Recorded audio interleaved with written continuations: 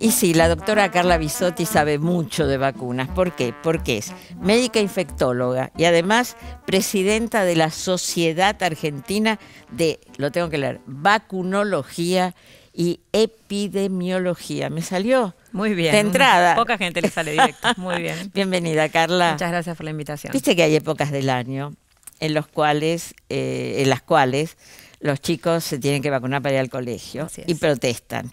Y uno cree que cuando pasan los años y uno se tiene que vacunar por la edad, eh, lo va a aceptar así.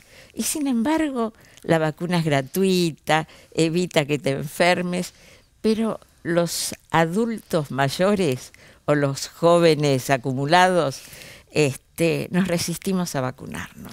Sí, en Argentina hay vacunas para todas las etapas de la vida, eso es muy importante, no es solamente pensar en vacunas y pensar en chicos, eh, los adultos sanos tienen que recibir vacunas y después de los 65 años especialmente tienen que recibir algunas vacunas para prevenir enfermedades que pueden impactar fuertemente en, en la salud de la población. Son sobre todo la vacuna antigripal todos los años y una vacuna que se llama mm, contra el neumococo, que previene una bacteria que, que es una de las primeras causas de neumonía, que, que también deben recibir un esquema que se llama secuencial, primero una vacuna conjugada y al año una vacuna que se llama polisacárida y con eso tienen la mejor protección. Pero bueno, estamos en época de sobre todo de gripe y siempre es una buena oportunidad si recibe el antigripal en un hombro, recibir la vacuna contra el neumococo en el otro.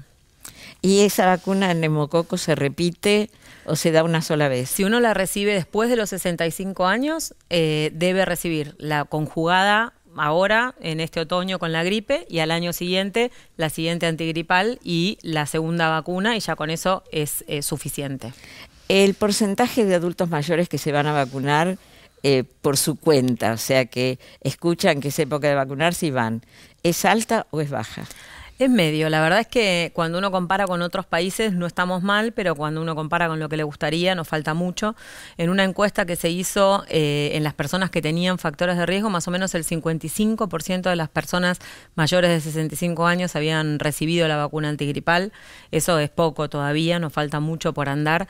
Eh, cuando uno mm, va cumpliendo años, va acumulando juventud, el sistema inmune se va, va disminuyendo, se va haciendo menos robusto. Se deteriora Exacto, un poquito. Exactamente. Eso es todo lo- en los extremos de la vida, el sistema inmune primero tiene que madurar y después va, lo que se llama inmunosenescencia, va Eso de. Exactamente. Entonces, y eso empieza a partir de los 40 años, no es que hay que hacer acumular tanta juventud. Atención ustedes, que creen que porque son jóvenes. Eh, pero bueno, el aumento del riesgo hace un pico muy importante a partir de los 65 años y ese es el motivo por el cual hay que protegerse especialmente contra algunas enfermedades porque la influenza puede generar cuadros de neumonía viral, puede abrir la puerta para una infección bacteriana y puede descompensar enfermedades de base. Si uno tiene algún problema cardíaco, desarrollar un infarto, vascular, una ACV, si tiene problemas de poco, de asma, generar una insuficiencia respiratoria. Entonces, no hay que subestimar la gripe, no es lo mismo una gripe que un resfrío. Realmente, desde la Sociedad Argentina de Vacunología, estamos haciendo una campaña que se llama Dale pelota a la gripe, con toda Está esta bueno, el temática mundial. del mundial, exacto. Eh, hay una página web que se llama es dalepelotalaGripe.com.ar donde se busca eh, desmistificar esto de me vacuné y me engripé, o me di la vacuna y me engripé igual, o ya pasó, ya es junio, es muy Eso que tarde. dijiste es muy importante. Hay gente que dice, me di la vacuna y me agarró una Mm. gripe terrible. Eso es porque no van en condiciones a vacunarse o porque hay algún otro factor. Eso es falso porque la vacuna antigripal es inactivada, entonces no hay ninguna posibilidad que genere gripe. Sí, las vacunas a virus vivo y atenuado, como varicela, sarampión, rubiola, pueden reproducir levemente la enfermedad, pero la antigripal es inactivada. Entonces, eh, lo que sí sucede es que si uno se vacuna en invierno, hay otros virus respiratorios que están circulando, entonces nos podemos resfriar. La vacuna previene solo contra el virus de la influenza y además no previene el 100% de los casos, porque lo que busca es evitar las complicaciones y la muerte. Entonces, si nosotros tenemos factores de riesgo, recibimos la vacuna, nos engripamos, pero no nos internamos y no tenemos complicaciones y no fallecemos, bueno, la vacuna tuvo su efecto, hizo efecto y lo que evitó es lo que buscaba la vacuna. Entonces es ¿Duele? importante. No, no duele mucho. Yo tengo, me vine preparada, tengo la vacuna Eh, para... esto no es para mostrarlo en cámara. No es para mostrarla en cámara, es para ver si la podemos dar.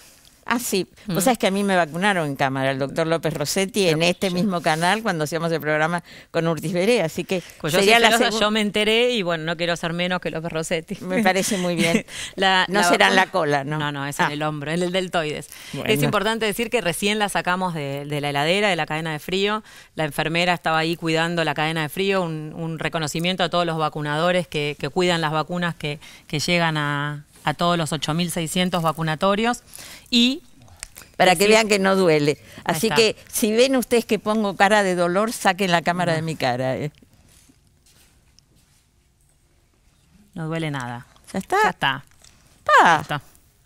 cada vez mejor. Ahí está, ¿viste? Nada. es fantástico. Y el otro, el otro comentario es que no hace falta guantes para vacunarse. Yo recién me lavé las manos y con lavarse las manos, la práctica de la vacunación es muy sencilla, no es invasiva, así que con, con lavarse las manos y, y limpiar el lugar también es suficiente. O así sea que, me voy después de darme la vacuna a mi casa, puedo comer de todo, Vida normal. hacer de todo, ir al teatro, al cine, todo, hacer el amor. la gripe, por supuesto. Eso no, no hay que perder nunca la oportunidad. Bueno, y contame lo de la neumonía. ¿Para quién es y si es eh, igual que esta? Porque si es igual que esta, es una pavada. Todas las vacunas son una pavada, son un pinchacito muy, muy leve y previenen con enfermedades que realmente son muy, muy graves. La vacuna antigripal la deben recibir todos los niños entre 6 y 24 meses si es la primera vez que se vacunan dos dosis, las embarazadas en cualquier trimestre de la gestación, los mayores de 65 años y las personas entre 2 y 64 años que tienen factores de riesgo y la obesidad es un factor de riesgo muy importante para la gripe.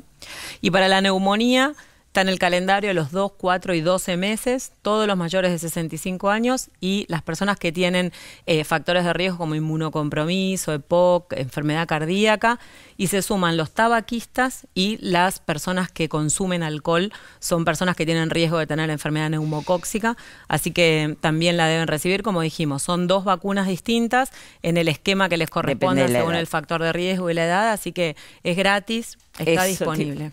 Carla, muchísimas gracias. A ustedes. Y gracias por vacunarme, porque nunca Por encontraba el tiempo para ir a vacunarme. Así que ahora ya está. Y ustedes quédense ahí, porque, uy, van a recordar tantas cosas con la invitada que viene.